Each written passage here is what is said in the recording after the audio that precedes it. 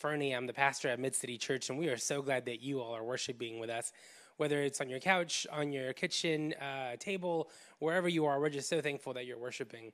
I hope that uh, tonight, as we gather, you may feel God's presence as uh, you stare at the screen, as you worship with your uh, maybe friends or family. Maybe they're there with you, or maybe you're worshiping with people uh, from different places. I got a text message last week from somebody who got to watch the live stream with her parents. And that was just such a powerful thing because they were not in the same place, as far as I know. And so, just an opportunity to worship together, even though we don't get to be physically present with one another. I just want to give you a couple of announcements before we begin. Uh, before we begin worship.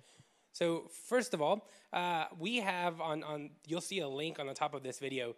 There is a, a connect card. We want to know who was worshiping with us tonight. So, if you can take a moment to click on that, fill out the connect card. We'd love to to know who was worshiping with us. The second thing is a prayer card. So it'll give you a link and uh, you can fill out a prayer request. And I, am checking that list every day. And I want to be able to pray with you. Uh, I posted on my Facebook page a couple weeks ago or last week. The days are running uh, mixed up in my head. But I posted about how I've been praying every morning, and I want to be able to pray for you and for your for your requests, and not just pray randomly for you. Even though I know that God hears all of our prayers, I want to be able to pray for you by name. So take a moment, fill out one of those prayer cards. I want to pray with you. The third one is a giving option. So I know right now times are uncertain for everybody, but uh, at Mid City Church, we believe uh, giving is an uh, opportunity for us to practice generosity. It's a spiritual discipline. And so I want to invite you into that. If you are able to give a dollar, if you're able to give uh, whatever God is calling you to give, I want to invite you um, to, for all of us to practice the spirit of generosity. So there's a couple ways that you can give.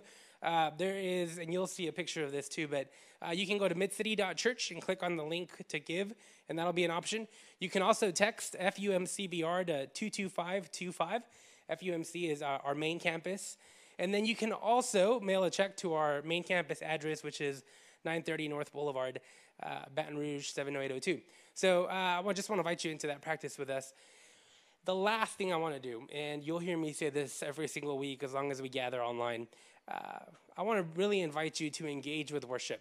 I know it's really easy to just kind of turn it on and uh, have worship in the background, maybe stream it while you're doing other stuff. Uh, I want to invite you to, to be intentional these next uh, 30 minutes or so and, and, and worship. Be present in God's presence and uh, soak in what God is speaking to you and nudging uh, in you, whether it be through music, through scripture, through prayer, through word.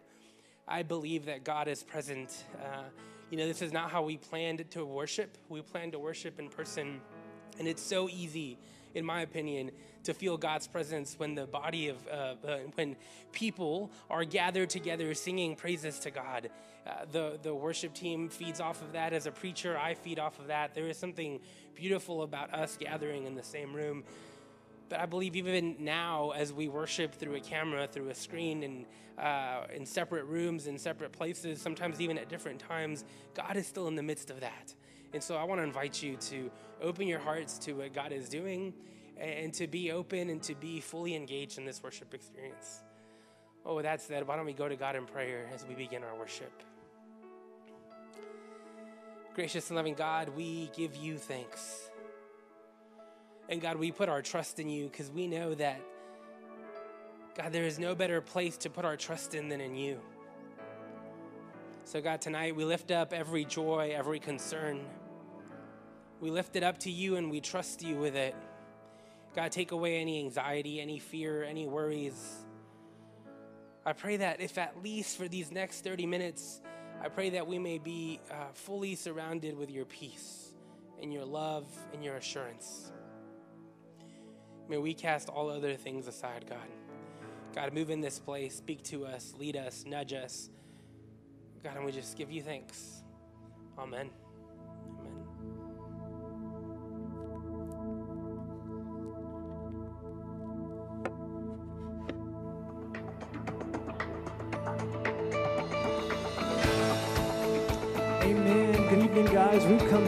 tonight to worship our God.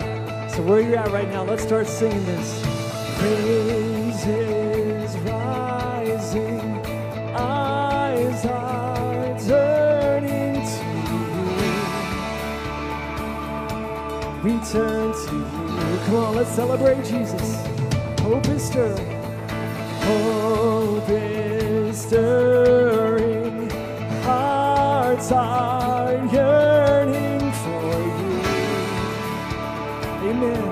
we long for you.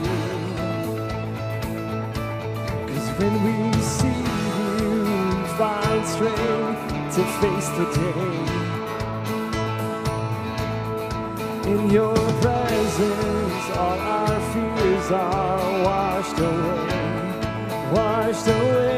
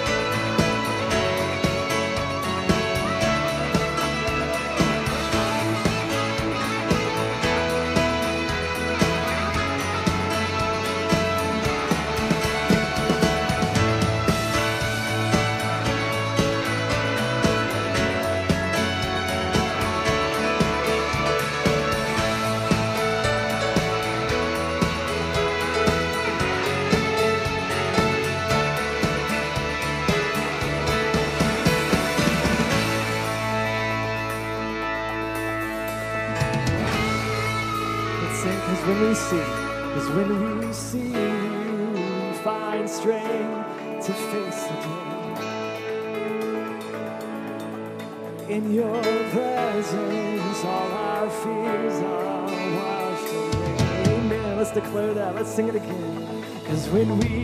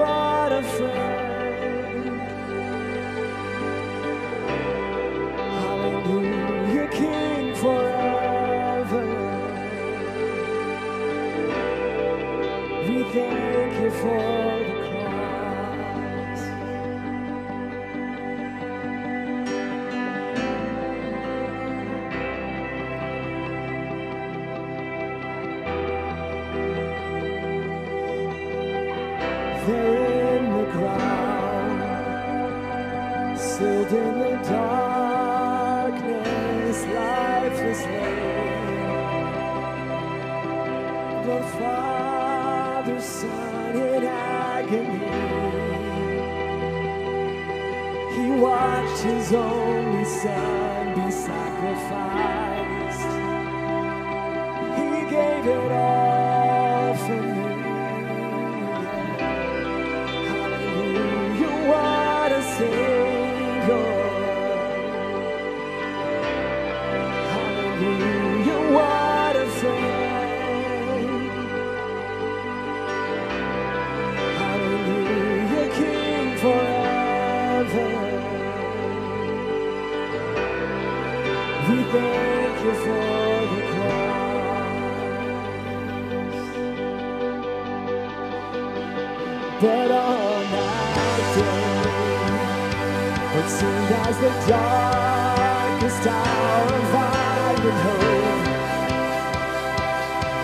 through and shook the ground and I rose, All the light of all the world.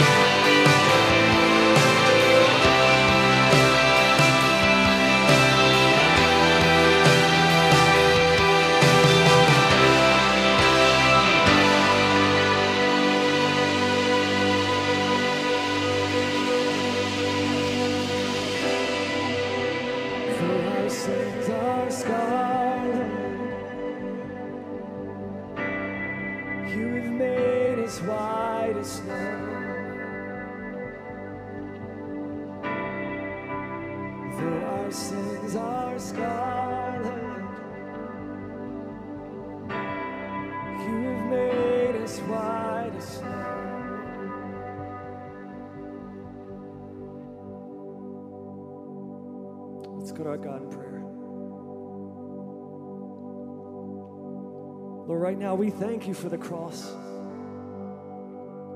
We thank you for your life that was given, God, your perfect life. Jesus, you set the perfect example for us, God, as believers. And Lord, we can only strive each and every day to continue to seek after you and follow your direction, God, and strive to live a life as you lived. And we know that we can't do that by ourselves. That we know we need you, God, now more than ever.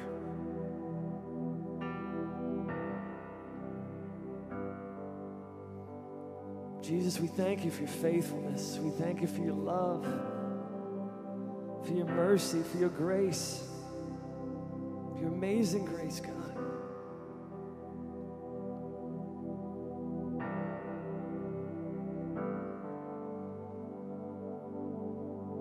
Spirit, we thank you for being present here right now,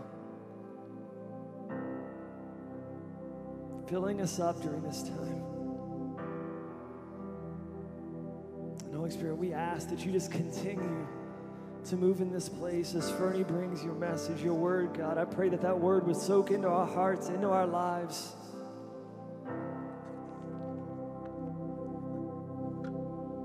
Lord, that you would open our ears to hear exactly what you have for us tonight, to open our hearts ready to receive it, to believe it, and to share it, God. Continue to transform us, make us more and more like you.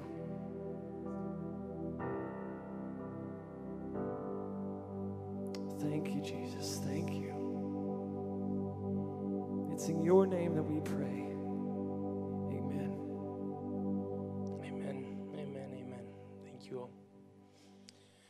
So, uh, I moved to Baton Rouge five years ago, and the first thing that I was told was that it was a great city to live in. There's a lot of football, a lot of crawfish, but traffic is horrible. And I, you have to know this about me. I lived in Chicago before I lived here. And the idea of bad traffic in Baton Rouge, a city of about 250,000 compared to a city of 2, 2 million people, a little over or more than 2 million, that just didn't make sense to me. I could not fathom that. So I just kind of blew that off. There is no possible way traffic is worse in Baton Rouge than it is in Chicago. But I've got to tell you, boy, was I wrong. Traffic in Baton Rouge is absolutely horrible. And, and I, I maybe it's the Texas inside of me, I'm sorry, but I just think even a lot of drivers in Baton Rouge are pretty bad. Eh, but here's the thing before you think I'm judging you, I now have a Baton Rouge driver's license, and I know that the things that annoyed me are things that I do now. So I'm talking about myself now. Uh, not so I'm, it's not just the others; it's me too. I am one of those bad drivers. But ever since I got to Baton Rouge, I developed road rage. I had no idea what road rage was before I moved to Baton Rouge. I had no clue why cars really needed a horn, and I didn't even realize people didn't use their blinker until I moved here. But I developed road rage, and let me tell you what my road rage consists of. So, first, I become very dramatic. So, let me give you an example. Let's pretend, I don't think everybody in the room is laughing right now. Let's pretend that uh, you're driving and the car in front of you is about to turn right into a parking lot, and they slow down very much. You know what I'm talking about. You've seen that driver who's about to go into a parking lot and they slow down. They almost come to a complete stop before driving into that parking lot. Every single person in this room is shaking their heads because they've all seen that. The, the thing that makes that worse is when that person slows down so much and they don't have a blinker on. That just messes with me. So when that happens, my road rage kicks in. So let's imagine this is an imaginary uh, situation. That happens, the first thing I do with my road rage is I become very dramatic. I pretend that I don't have enough time to brake. I like hold onto the steering wheel with both hands. I tense up. Sometimes, if I have extra time, I like grab the seat next to me, like if it's gonna fly out the window or something. I become very, very dramatic. So that's part one of my road rage. Part two is the shaking of my head. So as soon as everything is calm, I just stare at the car and I shake my head. And I make it very aware that what they did was wrong. Sometimes, I will be honest, I turn to look at the car and just stare at it as I drive by. But that's my second thing. I just I just shake my head. I don't close my eyes, but I shake my head, making sure people know that what they did was wrong. And the the the third thing I do um, is that I begin to tell this imaginary passenger in my car everything that that car did wrong. So in that situation, right, I would be really dramatic. I'd hold on to the seat. I would I would be very dramatic. I would shake my head and then I say, "Now, that person could have caused a really big accident because you shouldn't slow down that much and you should always have your blinker and why do they have to stop so long to turn?" Like I would give this whole commentary as to what that person did wrong. That's what my road road rage consists of. And I'll tell you my wife has seen that side of me many, many times. And I will be honest, it didn't uh, really, that side of me did not exist until I moved to Baton Rouge. I don't know why, but I'm sure that I caused that same type of um, frustration in other people now that I've lived here long enough. So, uh, not too long ago, I was in the car with one of my friends, and we were driving down Government Street, and a car pulled out in front of us. And I uh, normally would have done those three things, but because my friend was with me in my truck, can you imagine what I did? I did nothing. I simply slowed down, kept a smile on my face, and once that car kept going, I went about my business. And my friend looked at me and he said, Wow, you, you were very composed there. I probably would have been going off on that guy. And I was like, eh, What can you do? Just keep on driving, right? And so it was really interesting to me that in that moment, my typical road rage, those three things that I would have done, didn't happen because my friend was with me in that car. It's interesting how all of us behave a little differently when we realize that people are watching us. It's interesting how we all act a little differently when there's other people around us who are watching what we're doing. And I get it. It's not a judgment. It's not, uh, I'm not talking down on anybody. I'm even speaking to myself. We all act a little bit differently when we know people are watching us. I, I, I don't like to lose my temper in public because what if people think that I uh, am always grumpy and always angry? I'll tell you another thing. Uh, during this season of social distancing, I have been binge watching the, the Tiger King every night. And yeah, and it's it's it's a it's a show. Um, but I've been watching that, and then uh, today I started watching uh, Doomsday Preppers. Right? I don't share that with people very often because if they saw me doing that, they might think I'm lazy because me I'm just watching these TV shows. Right? I'll, give you another example. I love to play basketball. I shared a basketball story with you last week. I love to play basketball. And when it's just me, when I'm the only person playing, I still pretend. I'm 30 some. I'm 31 years old.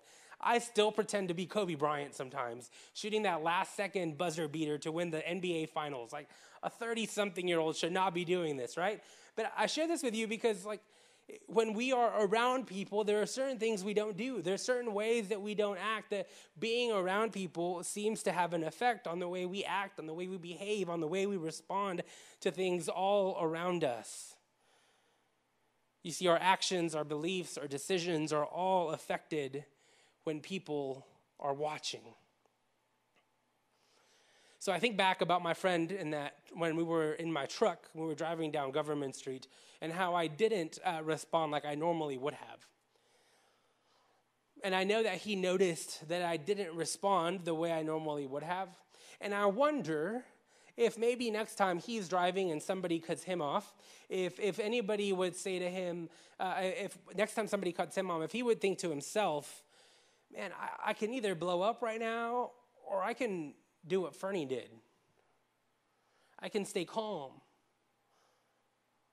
I can go about my business. I can, I can be thankful that we didn't get in a car accident. I can either blow up or I can do as I've seen other people do. You see, what I've realized as I keep thinking about that story is that what we do when others are watching affects what others do when no one is watching. I'm gonna say that one more time. What we do when others are watching affects what others do when no one is watching. Does that make sense? What, what, when, when people watch us do stuff and, and they see that they're, all, they're nudged by how we should respond and how we should act towards certain things, and it, it, and it can make an impact in people in such a way that when they're on their own in those same situations, they begin to respond differently.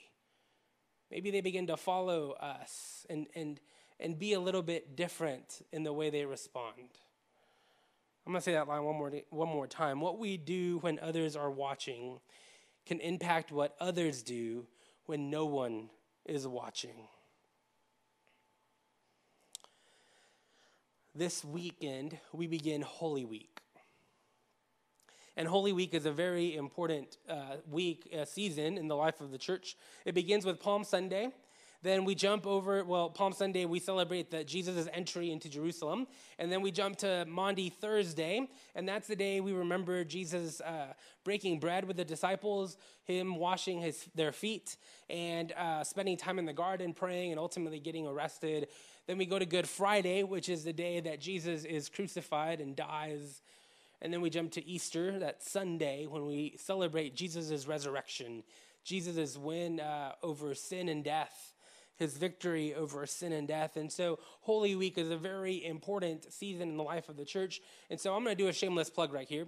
Uh, I want to invite you to be a part of our Holy Week services. So, next Thursday, we're going to gather at the same time and we're going to celebrate uh, Maundy Thursday. Next Friday, we will have a service also at 7 o'clock, uh, same place, and that'll be our Good Friday service. And then Easter morning, we will have a sunrise service at 7:15 a.m. And so I want to invite you to journey through Holy Week with us and, and all of those services. But let's get back to the story.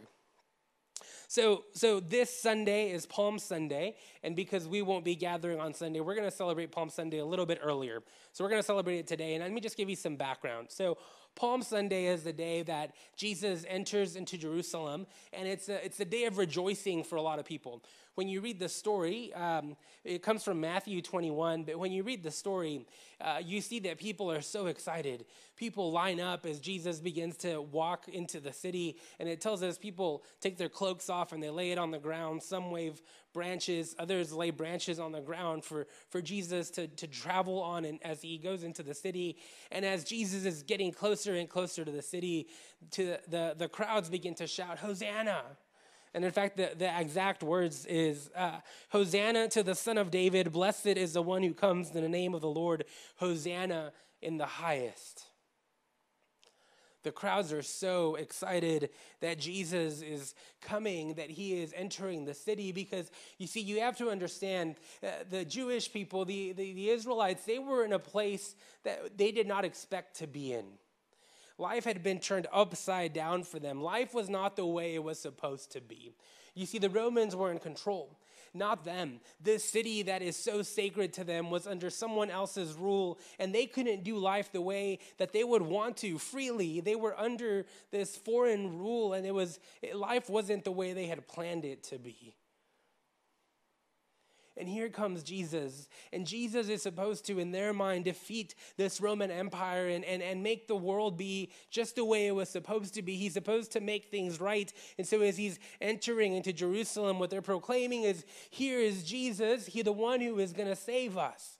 In fact, they yell Hosanna. They, they shout Hosanna, which means save us now. Jesus entering into Jerusalem that Palm Sunday meant that their victory was finally going to happen, that life was going to go back to the way it was supposed to be. I don't know about you, but I can relate to that so well. This is not where I plan to be tonight. I'm going to let that sink in for a moment wherever you are watching this, this is probably where, not where you plan to be tonight. Our lives have had to shift. We've all had to make adjustments.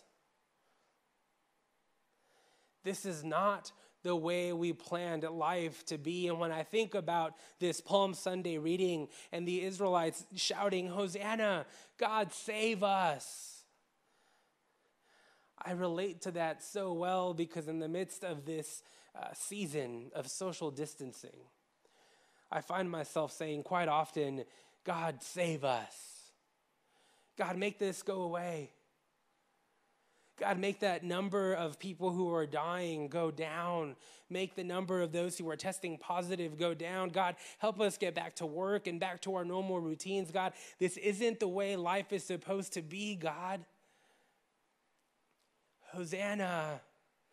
God, save us. I can relate to them oh so well. Now, there's something interesting to this story, something I hadn't caught until this week, and I'd read it a million times, but for some reason it didn't stand out in my head until this time. And so this comes from Matthew chapter 21, verses 14 through 17. And this is what it says The blind and the lame came to him in their temple, and he cured them. But when the chief priests and the scribes saw the amazing things that he did, and he heard the children crying out in the temple, Hosanna to the Son of David, they became angry and said to him, Do you hear what these are saying? Jesus said to them, Yes. Have you never read, Out of the mouths of infants and nursing babies, you have prepared praise for yourself? He left them, went out of the city to Bethany, and spent the night there there's something really fascinating here that I hadn't caught before, and I hope uh, to point it out to you. So, so the Pharisees are starting to get really mad. At this point, Jesus has gone into the temple and he's overturned tables and kicked people out of the temple. He has healed people, and now children are running around the temple screaming, Hosanna! And as I was reading this, preparing for today's sermon, I started wondering where did these kids catch that Hosanna? Who taught them to say this? Where did they find it? And it got me thinking, surely, go with me for a second, surely earlier that day, maybe some of them saw their parents, their neighbors, the vendors from down the street, people in their community standing by the gate shouting, Hosanna. Maybe some of them heard somebody that they look up to shouting, Hosanna, that in the midst of a season when life made no sense, when life was not the way it was supposed to be, somebody was shouting Hosanna, and it made such an impact in their lives that they too started shouting Hosanna. Remember what I said earlier what we do when others are watching can impact what others do when nobody is watching.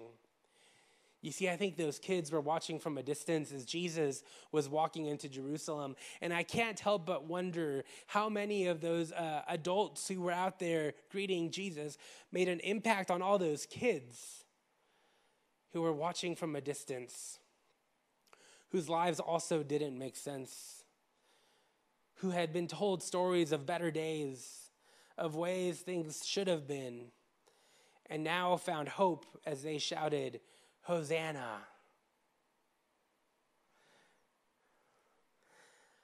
I don't know about you, but COVID 19, social distancing, all of this has really uh, messed with me. You know, I really long to go out to dinner with friends and have one of those really long tables where you can't hear each other because you're so far away and the restaurant is so loud. But to just be there and look down the table and see my friends there. I long to go to Brouhaha or City Roots and to grab my favorite coffee and just read my Bible. I miss my Tuesday morning breakfast at Simple Joe with our guys group, talking about life, waking up way too early. I miss Mid City Makers Market. I miss all the festivals that we should have had. I miss going to places like Circa. I miss the dreams that we had for worship at Bernard Terrace. I miss there was a week when I went to uh, La Carreta like four times in one week. For our, uh, we had a mid city gathering, we had a Bernard Terrace Civic Association meeting. I mean, I was there four times in one week. I even miss that.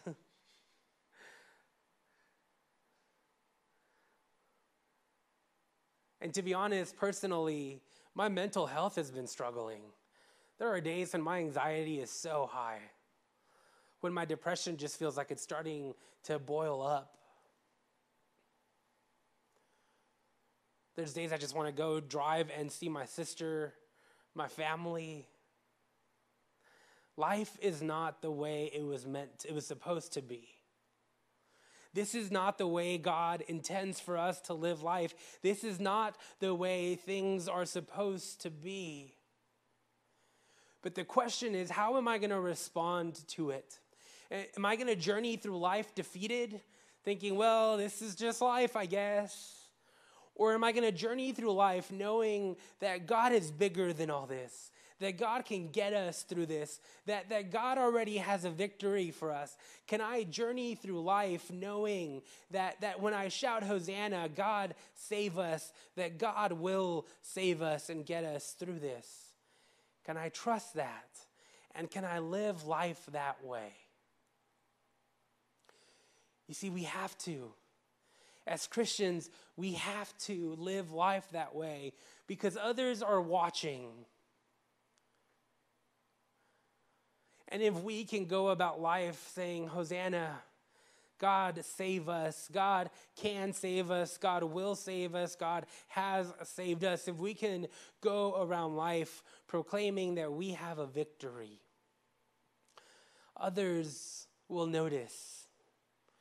And when they feel like they don't have a victory, when they feel like God is so far away, when they feel like anxiety and depression is overcoming, when they feel like life is getting the best of them, they will remember those Christians who said, I believe God is bigger. I believe God can offer hope and grace and peace and love and mercy. See, we have to hold on to our faith because when we do, others are watching. And it can make an impact in their lives when nobody is watching, when they feel all alone, for them to say, Hosanna, I believe in God too.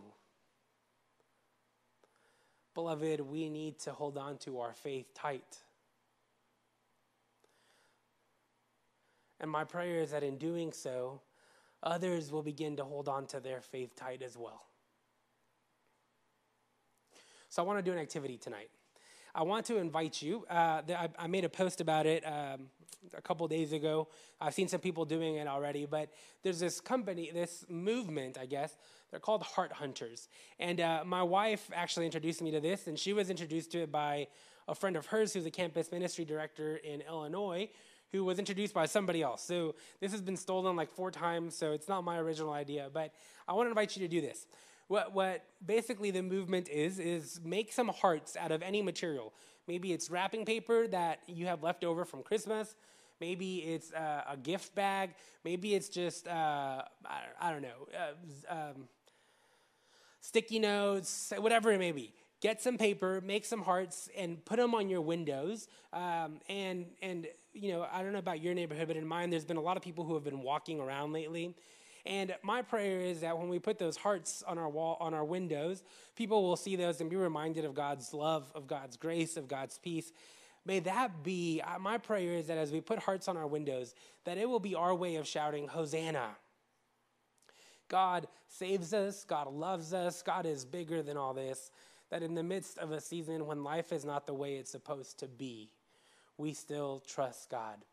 So I'm going to invite you, put those hearts on your window, uh, take pictures of them, share them on social media, encourage others to do the same. And who knows, maybe this will begin a movement in which people look at us and say, God is real. God can save us and God can make a difference. And I want to get to know that God. Beloved, let us hold on to our faith strong. Let's pray. Gracious and loving God, you are so much bigger than we can even begin to imagine. God, remind us today as, as you entered into Jerusalem, as Jesus entered into Jerusalem, and the crowds shouted, Hosanna. We can relate to them so well.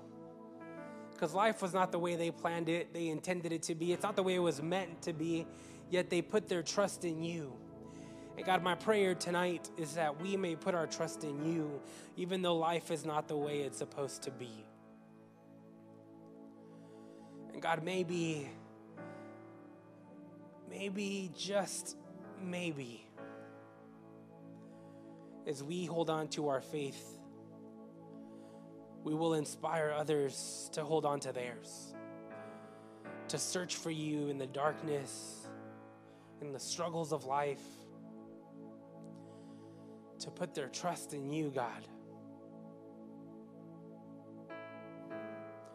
God, we shout Hosanna because we never know who's watching. Just like those that crowd made an imprint on those kids. God, may we make an imprint in the world around us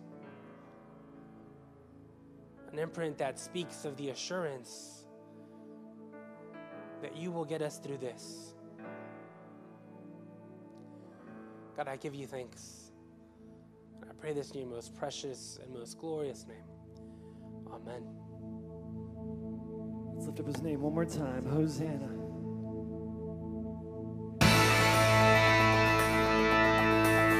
Because when we see you, because when we see you, find strength to face the day. Give us strength, God. In your presence, all our fears are washed away. Cause when we see you, we find strength, declare it to face the day, this day, today. Cause in your presence, all our fears are washed away. They're gone, washed away.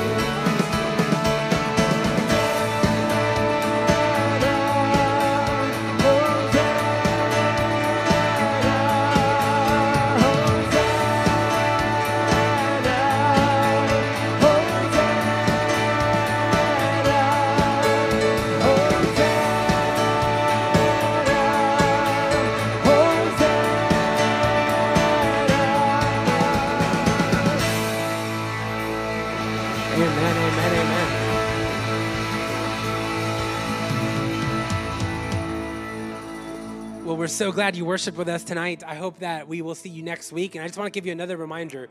Uh, we're going to have uh, Holy Week services. So Thursday, we will meet here for uh, Maundy, Thursday service at 7 o'clock. Uh, Friday, we will meet again here at 7 o'clock for our Good Friday service. And then Sunday morning, 7.15 a.m., we will gather for our Easter sunrise service. And then think about this way, you'll have the rest of the day to celebrate Easter with your family. Uh, again, I just want to thank you for worshiping with us. Uh, and I want to give you one more reminder. Uh, fill out a prayer card. I want to be praying for you. We want to be praying for you, lifting you up in prayer. Thank you so much for joining us. Uh, as we um, go forth from this place, I pray that we may go forth shouting Hosanna. Shouting Hosanna in the face of a world that was not meant to be this way. Yet we find ourselves here and we choose to shout Hosanna either way. Go forth in the name of the Father, and of the Son, and of the Holy Spirit. Amen.